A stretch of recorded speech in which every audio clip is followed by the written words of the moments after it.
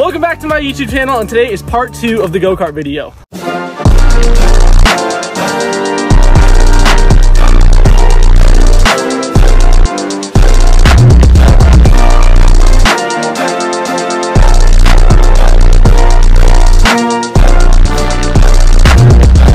All right, today we had a new design because, you know, our last design was not that good. So we decided to redesign the entire thing with the same kind of, you know, concept. The first main change that we made is that instead of mounting it from up here on these iron rail or rails, I guess, we mounted it down here. And as you can see, it's not fully attached, but we also attached it with zip ties. So now it's pretty much not going anywhere and you can't even pull it out even if you wanted to. We also added an iron sight so you're able to sort of aim the gun so that's kind of cool.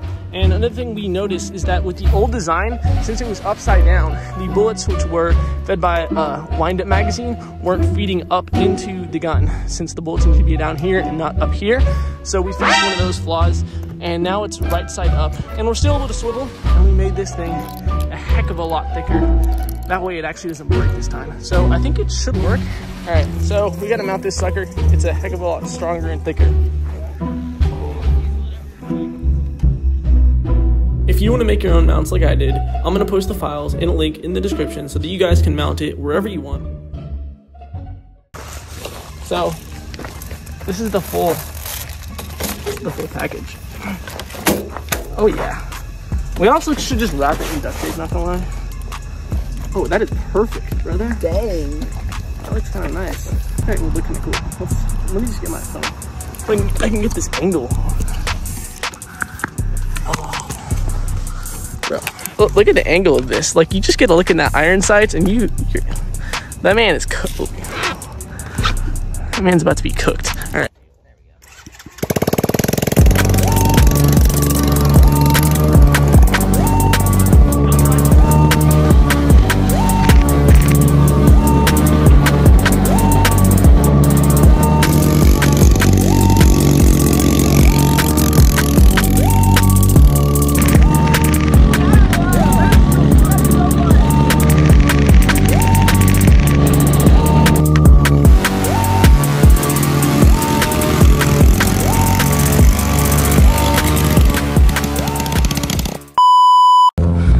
So we're gonna get ready to do like a mini airsoft war just to see who wins. Uh, so I got this.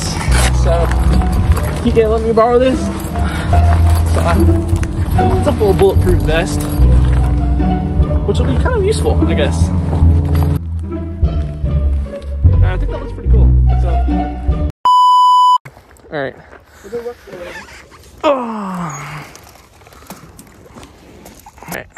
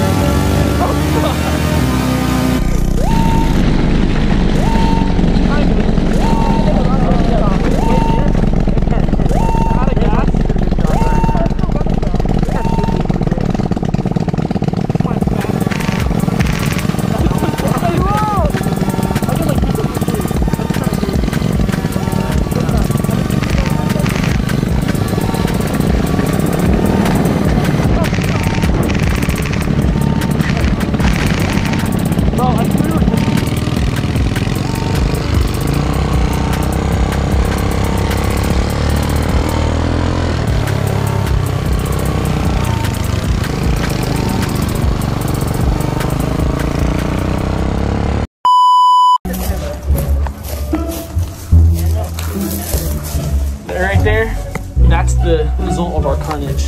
And, and that. And that. Wait, no, no, no. What is if like we did we have the car, we like we fixed it to one spot and put it on the front of the motorcycle and have a little button. You just press it and just. That would be nice. You just drive around and press a button and as it just spans across. It's That would be kind of fire. on motorcycle. What we should do is we no, we should just put it on the motorcycle and then we should drive it around like the actual road. Oh, we can pull over for sure. No, that's. All right, so now we're gonna just go. Uh, we're gonna switch positions. So me and Une are gonna be inside the uh, the horse shed. So I'm honestly kind of scared of what the thing can do. Not gonna lie, especially when the other kids are riding it. So hopefully they don't break it, because I have a theory that they will. But we'll see. Let's just go.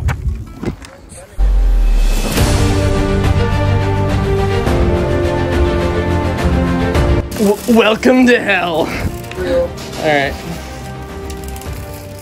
I like you today. Oh yeah. Here they come. Glasses on. Chupla. Ah, crap.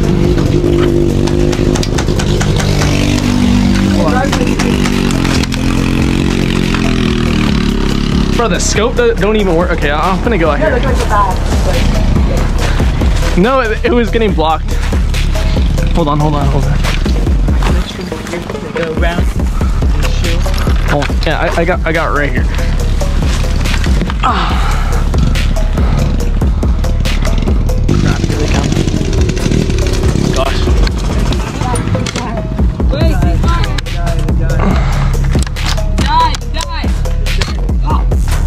Wait, did I just get you? Sorry, Caleb. That's the end of the video. And if you want to see more stuff like this, make sure you hit the subscribe button, hit the like button, and also share this video with someone you think might like it. Because I'm just a dumb teenager. I don't really get that much subscribers. So, you know, just help a brother out, you know? and also, yeah, spam the comment section with RIP Caleb. Because, yeah, I kind of did feel bad for shooting him in the face with a 400 FPS sniper rifle. But anyways, catch you at the next one. See ya.